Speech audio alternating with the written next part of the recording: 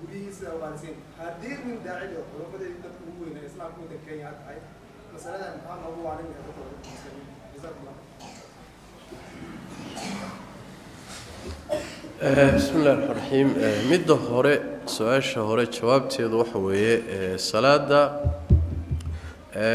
dhaqdhaqaaqeeda wixii markaa aan baahi keenin oon salaadu u baahanin dhaqdhaqaaqa in la yareeyo waayo leanna khushuucda oo salaada lafdhabarteeda ama la dhihi karo waa dhuuxa salaada ayaa waxay tahay in xubnaha dhaqdhaqaaqooda la yareeyo qalbiguna uu la socdo waxa uu ruuxu akhrinayo ilaahay cabsidiisa uu muraaqabeeyo xubnuhuna ay xasilaan oo dhaqdhaqaaqa yareeyaan haddii ay salaadu u baahato dhaqaaqa waa la samayn karaa markaa maalan safkii kaa horreeyey baa bannaanaaday waad dhaqaaqi kartaa adoo salaad ku jira waad geli kartaa haddii maalan waxyaalo daruuriya aada aragto adoo salaada ku jira waad dhaqaaqi kartaa maalan ilmo yaroo dabku si dhacayaad aragta ama khatar ku dhacayaad aragta iskaba dhaafi xataa waxyaalaha nabigu hala dilay yidhi sal alla alay wasalam waxaad aragtay adoo salaada ku jira abeesaad aragtay. Waad dili adoo salaada ku jira. Laa nabigu saasuu yidhi idinkoo dila salaada ku jira. Marka wixii ama layna amray ama salaada maslaxadeeda ah salaada maslaxadeeda dhib ma waa la dhaqdhaqi karaa. Laakiin waxaan maslaxadu keenaynin waa in xubnuhu xasilaan. Ma jirtaa tiro go-anoo haddii la dhaqdhaqaaqo salaadu burayso شافعية مذهب كشافعي وحي لادان صلاة وحي لها بروني وحي قدران. ثلاث حركات متواليات. صدح دق دقاق اسكو حيقي لكن مسألة داسي دليل ملاه مسألة داسي نصعد وتلمام يمتشرو صدح دقاق اسكو حيقي هدا دقاق صلاة دواد بوريسا. نصدها يا واجتهاد العلماء وهاي dhaqdhaqaaqa ha la yareeyana waa laisla ogolyaa waxaan maslaxa keenin laakiin tiro go-an oo salaadu ku burayso daliil khaasa ma leh. Qodobka kale oo ku saabsan ganacsiga muslimiintu muxuu uga qaalisan yahay ganacsiga gaalada? Ma garanayo saajkaas ama daraasada aad ku samaysay laakiin inta aniga aan fahansanahay meelana way inaga qaalisan yihiin meelana inaga ka qaalisan iskuullada waddanka ugu qaalisan ee brivatka ah muslimiin ma laha. Bal caruurteennii muslimiinta ganacsatadii tujaarta waaweyn iyo siyaasiyiintu iskuullada ay geystaan caruurtooda muslimiin ma laha. Waana iskuullada waddanka ugu qaalisan waay iskuulka ugu qaalisan ee waddanka ku yaalla ama ugu sarreeya xagga mustawaha aqooneed ee muslimiintu leeyihiin ma gaadhi karo iskuullada iyadaa xagga fiiga uu qaadayo iyo waxa uu bixinayo haddii la yidhahdo hala sheegana waxaan umalayn inta badan waad garanaysaan taqriiban. In badan baad garanaysaan. Ganacsiyada sidoo kale isbitaallada waaweyn inta badan muslimiintu ma bala isbitaal taqriiban. Marka masaladaasi waxay u baahan tahay waxay u baahan tahay taqriiban xaqiiqadeeda in haddii la yidhaahdo muslimiinta ka qaalisan waa iska ganacsiyo horta ilaahay nin walba meeshuu wax ka siiya inuu ka ganacsado. Shareecadu ma dhihin ganacsiga intaa saara intaana ha saarina. Sicri suuqun suuqa wixii ka jira un dadka ilahay inuu ku kala irsaaqo yaa loogu talagalay. Laakiin mid baan aniga ogahay middaan ogahay waxay tahay muslimiinta kale anugu ma aqaana laakiin soomaalidu meeshay galaan way ka qaalisan tahay ummadaha kale. Taa waanu soo dhahay xaafadan gallo waa laga qixi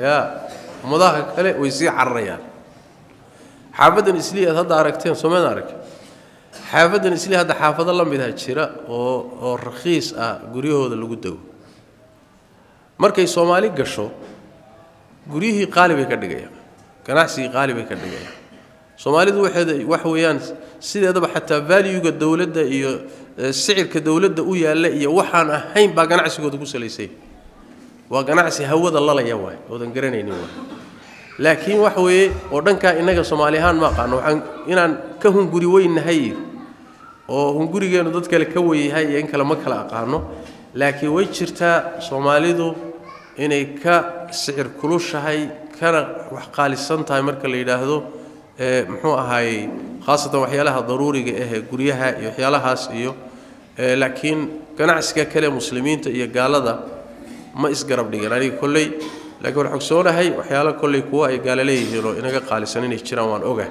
wallahu aclam.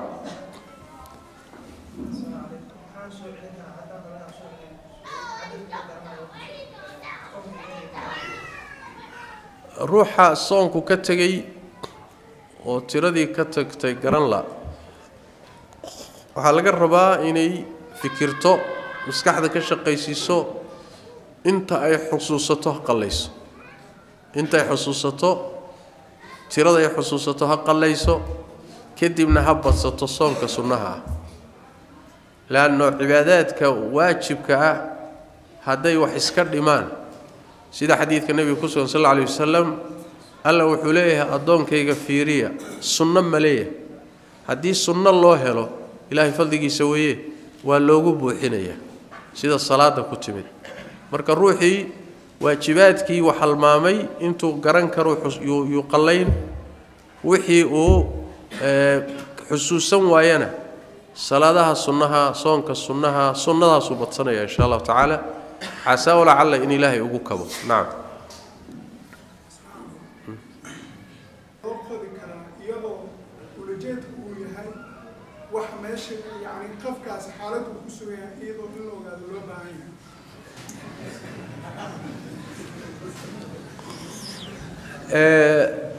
midda hore oo ah see la isaga ilaalin karaa dhaqamada kale waxaa la isaga ilaalin karaa dhaqamada kale kow horta ruuxu inuu ogaado muslim markuu yahay dhaqanka diintiisa iyo akhlaaqda ilaahay u soo dejiyey inay tahay midda ugu sarraysa dhaqamada. Dhaqan iyo akhlaaq haddaad rumaysan tahay inay taadu ugu sarrayso. Tu kaa hoosisa miyaad qaadane ku-dayashada iyo ummadaha kale in dhaqamada laga qaato waxaa keena. Markaad ummadaha kale u aragto inay kaa fiican yihiin oo dhaqankaaga ka fiican ay leeyihiin oo aad kor u fiiriso markaasaa dhaqamadooda la qaataayoo lagu ta'auraa laakiin haddaad u aragto inay kaa hooseeyaan gaalnimo kufri akhlaaq xumo dhaqan xumo. Adigana ilaahay ku sharfay iyaguna meel xun yaallaan haddaad u aragto. Markaa waxooda qaadan mayse soo saas maaha mabda asaasiga wax weeyaan ruuxa muslimkaa inuu ictizaaz diintiisa ku ictizaaso. Oo dhaqankiisa uu arko inuu yahay dhaqanka ugu fiican yahay. Oo maadaama uu mu'min yahay uu soo arko inuu ka fiican yahay dadka aan iimaanka lahayn dadka aan diinta lahayn inuu ka fiican yahay waa inuu soo arko. Soo ma arka taa waa qodob qodobka labaad ruuxu waa inuu mujtamaca muslimkaa iyo dad muslim iyo mujtamac muslim mar walba ku dhex koro waay ayagana la socdo la noolaado u bato. Hadduu dad kale iyo mujtamacaad kale ruuxu ku dhex koro ku dhex barbaaro u bato shaki ma laha way saamaynayaan. Leanna bini aadamku waa daciif. Bini aadamka dariskiisa saaxiibkiisa dadku la nool yahay mujtamaca intuba saamayn bay ku leeyihiin waa waa ku waa ku milaya waa ku milmaysa adoon is ogeyn. Saas daraaddeed bay diinteennu waxay tidhi mujtamacaadka gaaladaa ku dhex noolaanshadooda ka fogaada. Maxaa loo leeyahay? Si aadan dhaqankooda aadan ugu ta'aurin somaa garan? Marka in sidoo kaleeto ruuxa muslimka ah markuu dhallinyarada yahay la dhiso la tarbiyeeyo waxyaalo badan asbaabo badanoo noocaasoo kale keeni karaya ruuxu inuu dhaqamada kale iska ilaaliyo. Sa ay tahay nebigeennu wuxuu tilmaamay sal alla alay wasalam in ummaddiisa laga heli doono dad gaalada dhaqankooda qaadan doona. Oo wuxuu yidhi ummadihii hore dariiqyadoodii baad raacraaci doontaan oo mari doontaan. Xataa haddii ay dabbada bahasha layihahdo godkeeda ay galaan waad ka dabagelaysaa. Waa qaar ummadda ka mid ummadoo dhan maaha dabbada waxa weeye waa baal yaroo xamaarato ah oo god yar oo waxay gashaa cidhiidhi ah oo mugdi ah oo uraya. Maxaa laga wadaa? Meel cidhiidhi ah oo mugdi ah oo urays adiga maxaad ugu xilani? Waasac maaha iftiinna ma leh. Mana udgoona. Saddexdaa midna ma leh. Meel noocaas oo kale maxaad ka dooni? Ya bimacnaa waxa weeye wax qashina hadday la yimaadaan xataa ummadda qaar dabagashaa la heli. Xadiiska riwaayadka qaar waxay leeyihiin xataa haddii laga helo qaar hooyadood dariiqa dhexdiisa ku kufsanaya haddii laga helo ummaddan qaar raacaa la heliyo iska dabagalo iyaguna hooyadood kufsada. Soo tan maanta taagan maa tan maanta taagan waay. Wax alla wixii dhaqan xumo iyo akhlaaq xumo caddaan iyo reer galbeed ka yimid oo dhan qaar muslimiin oo qaadanayaad arkay oo qashinka uruursada ood jokoro moodayso. Ya wixii qashin ay soo tuuraan oo dhan bay uruursadaan oo dhallinyaradeenna sooma arkin meesha. Ya dhallinyaradeenna imtixaankayna haysta. Dhallinyaradeennu waxay ka qaataan dhaqanka gaalada kuwooda weliba sii liita. Gaaladaa isdhaanta mogta gaalada caddaanka kuweeda jokoraha maaragta. Kuwaasay dhallinyaradeennu dhaqan ka qaataan ya timo tidcanoo la sii daysto oo raamo leh. Ya sarwaal dabada ka sii dhacahaya timo la heeraaroo intanoo inta la jaro intan la soo reebo. Ruuxan maxaa kuu geeyey? Waxan maxaa kuu geeyey? Xataa gaalada intooda waxoogaa yaro roonroon waxaan ma sameeyaan ishkaalku marka wax weeyaan da-yartu waxay korayaan iyagoon mabda iyo akhlaaq iyo waxba loo yeelin kadibna meeshay qashin ku arkaanba waa urursanaya. Waxay u baahan marka in la ximaayeeyo intay carruurtu yaryar in lagu tarbiyeeyo dhaqankan iyo diinta lagu tarbiyeeyo dhaqamadaa kalena looga digoo la yidhaahdo adiga wax kaa fiican ma jiro wax kaa sharaf badan ma jiro. Waxaan kadaato kale waa qashin. Ha urursanin qashinka. Taa waa qodob. Qodobka arrinta su'aasha labaadi waxa weeye qabriga meydka ma la qodi karaa si loo ogaado ruuxu wuxuu ku sugan yahay saas miya? Maxaa laga rabaa ruuxu wuxuu ku sugan yahay ya mase suurtagal baa ruuxani wuxuu ku sugan yahay in la ogaado. Meesha haddii la qodo maxaa loogu tegayaa? Ya waxaa loogu tegayaa lafihii waxaa loogu tegayaa jidhkiioo carra cuntay هذا الرادين يس الروح يو عذابني نادو تكتو. روح عذابن مش وقت تجي يا. وح عذابن هديب اللي عذاب يو الروح ذي وح روح ذي بع عذابن شركي أو بابا أين ودريم يا عذاب. يا. هذي برواقع يتشنا وكتشنا دون يسينا دريشة دي تشنا ده لوجا فريسة أركتنا. دريشة مش أذبو سو أركي مشرت يروح تشنا كتشنا سو أركي مشرت sidaas daraaddeed qabri in la qodo ruuxa xaalkiisa lasoo ogaado arrintaasi sax maaha wax lasoo ogaana ma jiro waa lagooyo laakiin qabriga waa loo faagi karaa asbaab jirta waxaa loo faagi karaa haddii maalan hanti lagu aasay hanti qaaliya lagu aasay waa la faagi karaa waa laga soo saari karaa waxaa loo faagi karaa haddii ruuxa maalan meesha uu ku aasan yahay ay tahay meel aan munaasib ku ahayn oo la doonayo meel ka fiican qubuurta muslimiinta oo kale in la geeyo. Somaa garan waxaa loo faagi karaa meesha lagu duugay baa waxay tahay milki dad leeyahay boos ruux leeyahay iyo milkiye khaasoo dad leeyahay baa ruuxii lagu aasay. Dadkii booska lahaa baa yimid hana looga saaro bolodka iska lahaa. Waa la qufiyo waa la saariyo qubuurta muslimiinta lagu dari. Soomada garan marka xaalado waxaa jira daruuro ah oo keeni karaya meydka inta la faago in muxuu ahay loo tago wixii meesha ku jiray ama la soo saaro. Laakiin ha la soo arko wuxuu ku sugan yahay ma aha sabab keeni karta in loo faago qabriga muslimka. Leanno muslimiintu markay dhintaanna karaamay leeyihiin markay nool yihiinna karaamay leeyihiin. In qubuurtooda la iska qodqodo iska badaaye xataa in lagu istaagaan la ogoleen. Leanna waxa weeye karaamay leeyihiin waa in la karaameeyo oo la ilaaliyo waay wallahu aclam aleyh salaam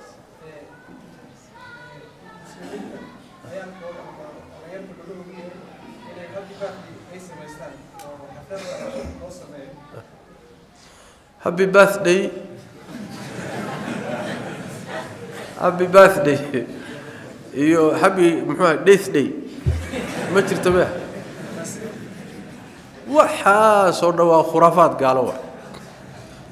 Waa uun dhaqamo gaalo laga soo urursaday waay. Annaga ma lihin muxuu ahay muxuu ahay happy birthday iyo muxuu ahay munaasabaadkan la samaysanayo ma lihin. Ciid waxaan leenahay saddex.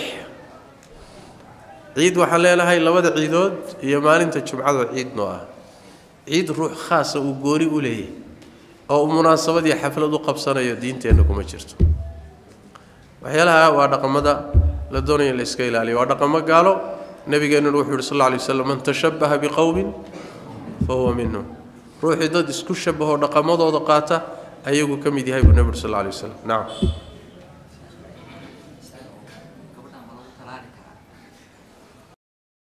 su'aashani waxay leedahay nin baa laba xaas qaba mid baa aan uuraysanayn ukunteedu ma qaadayso ilmihii. Midda kale ukun ay leedahay inta la soo qaado. Tan ukuntii ma lagu beeri karaayo sidaa ilmo ma ku heli kartaa buu leey jawaabtu waa maya. Jawaabtu waa maya. Asal ahaan horta haddii labada ruuxa isqaba isu dhali waayaan laakiin ay ku dhali karaan bacrimin in laysku sameeyo ukunta iyo biyaha ama bannaanka inta lagu sameeyo minka ha lagu celiyo. Ama biyihii ninka oo ninka oo gaadhi la xayawaankii manida oo gaadhi la ukunta inta la farsameeyo ha la gaadhsiiyo sida ha lagu bacrimiyo. Qaabkaasi labadii isqabay in ilmo ay ku raadsadaan way bannaan tahay. Siday culimo badan qabaan laakiin waa inay sidii caadigaa ku dhali karin. Masalada labaadna waa inay laba ruuxoo isqaba yihiin. Masalada saddexaadna waa in ukuntaasi la bacriminayaay islaantii lahayd waa inay tahay midda ukuntu ku jirtoon tu kale looga soo qaadin haddii tu kale looga soo qaado maya. Sababtu maxay tahay?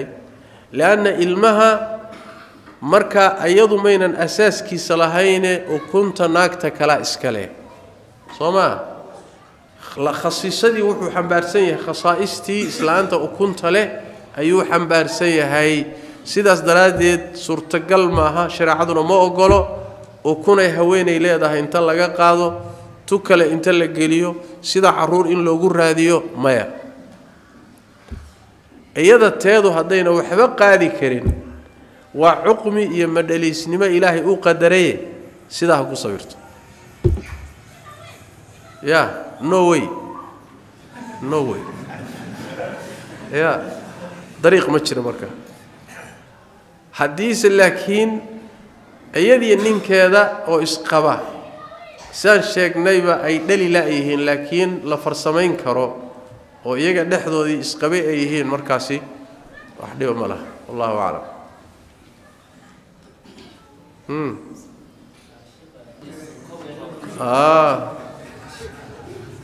haddii kor uu aado jagadu u korodho. Muxuu samaynaa marka? Muxuu samaynayaa soomaa wixiisii buu u kaalmaysanayaa soo saas ma ah a markaa dee faafintiisii baad ugu kaalmaysa. A waa nin aduun inuu cayda ilaahay iyo kirishtaannimada iyo ilaahay baa wiil dhalay iyo saddex ilaah baa jira iyo ninaad ku dallacsiisay wey oo lacagtaada ku dallacsiisay. Marka sax maaha hadduu si kale u baahan yahay oo kaalmo u baahan yahay oo muxuu ahaay kaalmo caadiga kaaga baahan yahay mushkilo ma leh. Waa la kaalmayn karaa. Laa yanhaakum allahu can aladiina lam yuqaatiluukum fi ddiini walam yukhrijuukum min diyaarikum an tabaruuhum watuqsituu ilayhim قالنا مركا أن دجال إذا كلا دحينين كوي إذا لا دجال لما جانا أن كرب سينينين إيه نبض قليه ده كوا ده نو شهين إن هذا إحسان نص ما إحسان إيه إن العدالة نص ما إحسان إله يدين مدي ذي مركا ولا عاون كرا ولا كلمين كرا لكن واحد كوك كلمين سواين إحسان هين إيه واحد بيها وحشر عاد خلاف سن فكرة خلدن قال نمدي هو كلمين لكن سيكل ولا عاون كرت نعم Mm-hmm. Waalidkeedoo geerooday qur-aan ma u akhrin karaa masale khilaafiya waay dadkii dhintay qur-aan ma loo akhrin karaa daliil cad looma hayo aayad qur-aanna looma hayo sheegaysa xadiisna looma hayo culimmadiina way isku khilaafeen culimmada qaar waxay leeyihiin waxyaalaha nusuusta ku soo arooray sida sadaqada iyo waxay la mid tahay ducada iyo taa unbuu qur-aankuna la mid yahay ha loo akhriyo qaar baa qaba qaarna waxay leeyihin maadaama aan daliil cad loo hayninoo khaasa هل ليسك دايو أنت دليل كالله هايو ميت كالله بحيو. تذكر أنت. مع دليل الله هيا. مع دليل الله هيا الصدقة ده. ساجد وحوجلي ساكن وحسي. أنيود عيل أوقد يا إسبيتال صدقة سي الله بحينا يو. دليل بيلا ده. وقاريس إن شاء الله تعالى. وحقاريس الصدقة كله هنا دو دعيسو هل يهبين بودعيه وحجاريسا سيدو كله حجك إن هذا كسو حج سيدو وحجاريسا أعماش أنو حاوي سكنت هاي وضد كي دنتي إن جاريسو دليل بيلاده أما قرآن كخاصهان دليل خاص ما تشرو علونا سكو خلفسين رجله قرآن كو ميت كم جارينا إمام الشافعي بكمل عليه رحمة الله هو حليه هاي وأن ليس للإنسان إلا ما سعاه qur'aan baa ruux loo akhriyey oo gaadhi imaamu shaafici waa diiday calayhi raxmat ullah marka waxaa fiican haddaabaad dadaalayso wixii la hubo ku dadaal. Ya wax gacan ku uur ku jirtoodan garanayni ma gaadhi mise gaadhi maayo muranba ku jiraba? Iyo waxaan muran ku jirin kee roon? Ya waxaan muran ku jirin baa la hayaaye kaas ku dadaal. Nacam kaas aawe haye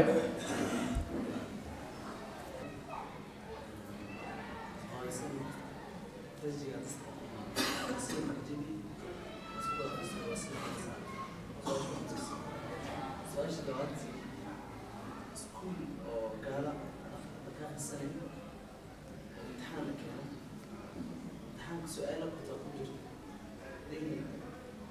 أروك أنت أروك لحبرك ليه لحبرك سقط الإسلام قالت طول بريلي امتحانك نقولي أدين ما نتقبض ليه وأنا استنبوك وقرب وأنا midda hore su-aasha hore oo ah ruuxa weysaystay qabayska ka hor ileen qabayska qaababka loo qabaysta waxaa ka mid a inaad weysada hormariso kadibna aada wey aada qabaysato haddaad weysadii hormarisay kadibna aada qabaysatay intaad qabaysanaysayna aada xubinka taranka taabatay weysadii ma kaa jabaysaa mise kaama jabayso culimada qaar waxay qabaan way jabaysaa markaana waxay noqonaysaa inaad dib u soo weysaysato markaad qabayska dhammaysato dib u soo weysayso haddii aynan kaa jabin oo xubinka taranka aadan taabanin weysadii ka horraysay qabayska ayaa kugu filan uma baahnin inaad weyse dambe soo celiso haddaabaad qabayska dhamaysato waad weyse qabtaa waadna qabaysatay laakiin haddii ay kaa jabtood xubinka taabato siday sheekh ibnu cuthaymiin iyo culimo qaarkood leeyihiin markaa way jabtay waa inaad dib ka weysaysato masalada labaad oo ah imtixaankii la keenay iskuulka ama jaamacadba imtixaan baad ku jirtaa gaaladu waxay leeyihiin waxay qabaan saxway qaar baa saas qaba ilaahay lix beri buu ku abuuray kownka maalinka toddobaadna wuu nastay marka imtixaanka hadday su-aashaasi ku timaado ma qori karaa ilaahay maalinka toddobaad wuu nastay su-aashu saas waay jawaabtuna waxa weeye ma qori kartid geed loogu soo gabanin ya haddaad qorto ilaahay baa maalinkaa nastay daqiiqadaa aad qalinka farta ka qaaday diinta waad ka baxday sababt maxay tahay adoo yidhi oo kaley ka dhigan tahay ama qoray ciise waa wiil ilaahay soo imtixaanka iskuullada kirishtaanka kuma yimaado haddaad qorto ciise waa wiil ilaahay diinta waad ka bixi haddaad qorto saddex ilaah baa jira diinta waad ka bixi waa mabaadi' waaweyn oon loo dhowaan karin waaye ya waa wax aan lagu ciyaari karin waa wax aan kaftan geli karin waa waxaan adduunye iyo shahaado lagu raadsan karin ya adduunya oo dhan waa ha ku seegto laakiin tawxiidkaagii caqiidadaada ha burinin. Ya wax yar baa loo loo loo gaalooba. Wax saasoo kalea looma gaaloobo. Marka horebase waxaa khalad ah iskuulla noocaasa iyo jaamacada noocaasa oo maadooyinka noocaasa lagu baranayo inaad gashaaba khaladku ka bilowdayba. Aada og tahayba inay imtixaanada noocaasa ku imaanayaan. Waxa noocaasa lagu barayo. Marka horeba taasaa khalad. Saas daraaddeed lama qori karo. Waa inaad ka tagto waay marka horena inaad dhegaysataaba khalad oo macnaha leanna waxa wey waa caqiide xun oo qur-aanku diiday ilaahay qur-aanka waa kaga warramay ya wamaa massanaa ha wamaa massanaa min luquub alla wuxuu uhi tabaaraka wa tacaala samaawaadka iyo dhulalka iyo khalqigan markuu abuuray wax daal ah iyo tacab ah iyo rafaad ah ima taabanin baa lihi tabaaraka wa tacaala ilaahay muxuu ku daali ya ma waxaan khalqigan inuu abuuro ku daalaya ya subxaana allah ilaahay waxaa ku filan wuxuu samaynayo kun fayakuun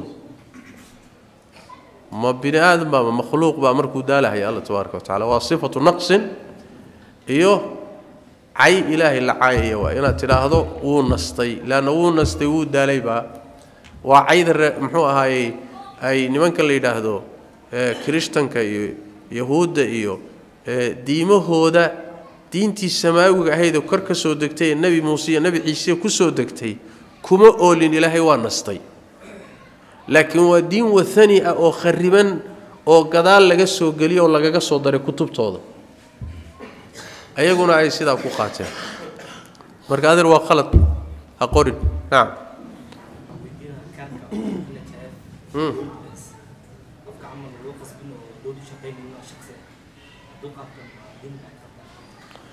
kaadhka n h i f in la qaato ee inshuransiga maxay diintu ka qabtaa? Wax dhiba ma laha. Jawaabtu waa taas. Waa la qaadan karaa dhibna ma laha. Sababtu waxa weeye waa inshuransi dowladdu samaysay shaqaalaha loo sameeyey markii dambe dadweynaha loo furay dadweynaha wax laga qaadayaa hadday gaari weydo dowladdaa kabaysa hadday isku filaatana wataa cid gooni oo ribic iyo faa'iide ka raadsanaysa ma jirto. Dadku shaqaalay ka yihiin. Asalkiisana waxaa loogu talagalay bulshada in lagu caawiyo isku caawiso. Inshuransiga noocaas oo kaleetaana waa bannaan yahay. Culimmada jamaahiirtooda badankooda ee mucaasiriinta ah say qabaan wax dhiba ma laha. Waa laga faa'iidaysan kara waana la qaadan karaa hal qodobun iska ilaali haddaad qaadato. Ha khayaamin dadka sidii aad ku qaadatay u isticmaal. Sidii aad ku qaadatay u isticmaal. Haddaad ku qaadatay adig iyo caruurtaadiiyo xaaskaaga. Islaan kale ha siinin. Caruur kalena ha ku daaweynin. Ya. Dadka qaar baa saa sameeya soo ma? Islaan kaluu siinaya markaasuu tiisii ka dhigaya. Caruur kalena waa ku daaweynaya oo kuwiisii aan ahayn. Marka waa khayaano soo ma marka sidii aad ku qaadatay u isticmaal haddii kale been iyo khiyaanay noqone sidaa dad yeesho dhib male waa laga faa'idaysan karaa mushkilo male nacam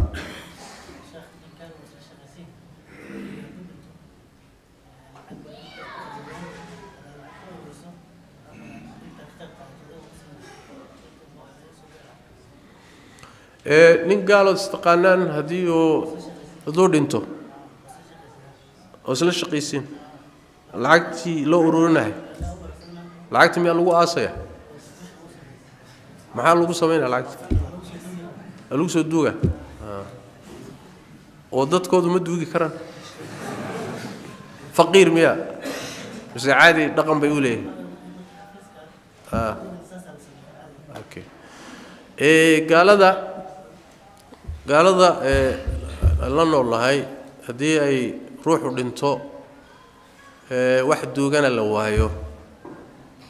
Ama dadkiisu ayna duugan karin. Annaga waan duugaynaa. Annaga waan duugaynaa. Xataa kuwa dagaalku intuu noo dhex maro goobta lagu laayo ee dagaalka lagu laayo xataa nebigu sal alla alay wasalam meydkooda dhulka korkiisa kagama tegi jirin. Wuu aasi jiray nebigu sal alla alay wasalam ama hadduu ceel goof helo waa ku daadin jiray qoladii beder oo kale haddii ay iyagu isku filan yihiin oo is aasi karaan looma baahno markaa adiga muxuu ahaayey ee waxaad u gasho ma jiro cali bni abi aalib baa aabbihii markuu dhintay aabbihii abu aalib nebigana adeerkii ahaa nebigana soo garab qabtay sal alla alay wasalam kacu tagoo aas buu ku yidhi aabbaha soo aas xadiidka xasanka soo tilmaamaya haddii marka xoolaha aada uruurinaysaan maqsuudku uu yahay iyo ujeeddada loo uruurinayo dadkii uu ka tegey iyo caruurtiisii iyo ha lagu caawiyo hadday sidaas tahay mushkilo ma leh. Waatan soo sheegnay waa la caawin karaa. Gaalka aan dagaalkaala dhexaynin waa la caawin karaa. Haddayse masaladu tahay waa lagu aasayaa. Waa lagu aasayaa oo kharashkii aaskaa loo isticmaalaya hadday ahaan lahayd intay aasaan oy godgeliyaan intaa hadduu ku ekaan lahaa dhib ma lahaateen laakiin aaska waxaa ka dhaca waxyaalo badan oo qaldan soo ma qaabkay wax u aasaan waxyaalo badan oo qaldan soo kama dhacaan waxyaalaha noocaasoo kalea kharashka marka loo isticmaalayo inaad gacan ka geysato waa khalad leanna waxay soo gelaysaa walaa tacaawanuu cala alimi waalcudwaan wax dembi iyo xadguduba gacan ha ka geysanina ha u kaalmaynina cidda samaynaysa gaal ha ahaado muslim ahaa hadday uun aas ahaan lahayd waa sax waa la aasi karaa haddii aaskiisu kharash u baahdo waa laga qayb qaadan karaa laakiin haddii aaska khalad ka dhacayo ama lacagtii la qaaday munaasabaad khaldan loo isticmaalayo ama khamraa lagu cabayaa ama xaflado khaldan baa lagu qabsanayaa ama munaasabo مناسبات قالني يا شركي كتشرا لغو قبنايا أو آسكي لا حريرة مايا مركا لقى ما قادن كرو. وحنا لغو مدرسن كرو. وغلط الله أعلم.